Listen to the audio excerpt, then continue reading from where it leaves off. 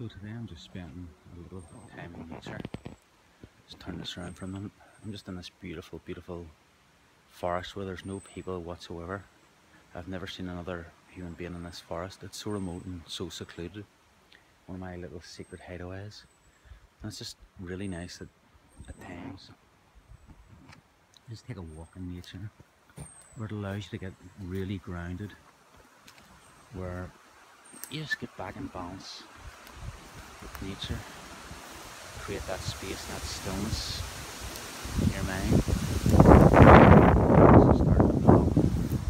It's rained quite heavily last night and the ground's quite wet, but there actually are a few almost feral cows that are very elusive and you usually can't get within 100 metres of them and they'll disappear.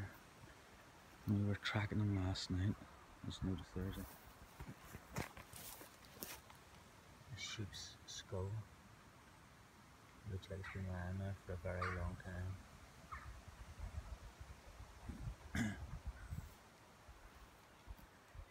it's so fresh, so cleansing and the Japanese actually do a thing called forest bathing.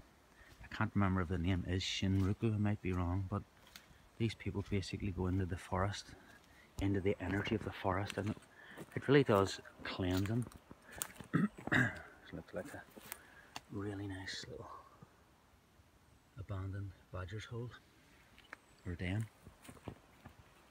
it's so beautiful just to spend time here to, just to be at peace and the stillness that most people don't take the time to actually connect back with themselves, to get into nature, to still their mind. And it's so brilliant that you know there is no Wi-Fi here, no phone signals, no cell phone towers, no power cables, no anything. It's just this very pure, untouched wilderness that hasn't been,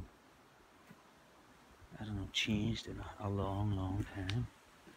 And it goes from little places or little areas of green back into the forest, back into the green, and it just keeps changing the terrain, the the texture, the entire landscape is so different and so diverse from the you know planted fir trees that have been here a long time to there's a deer running in the distance from.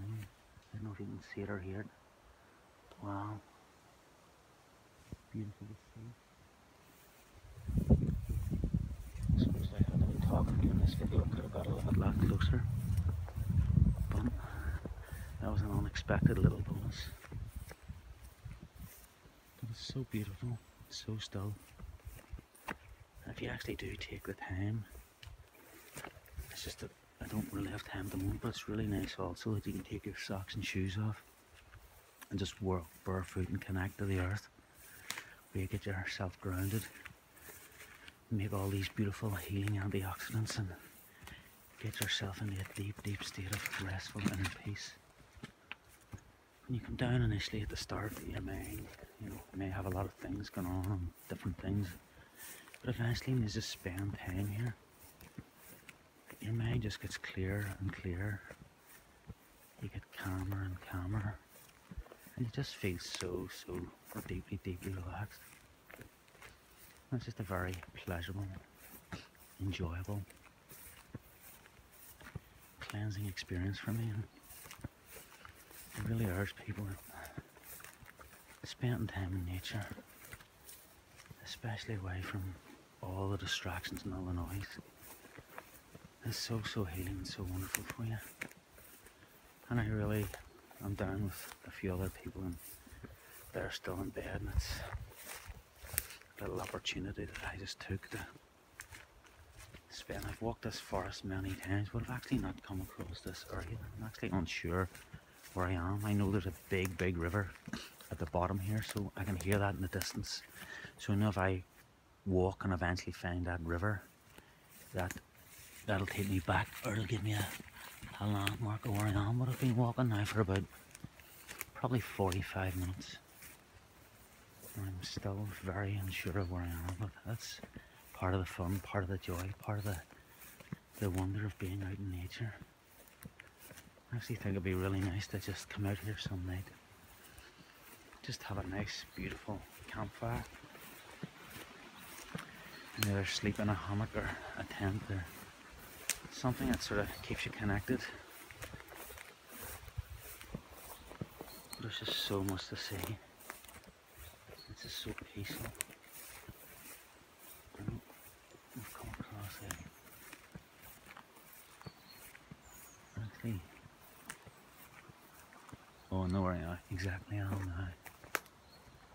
Uh-huh. So you have it.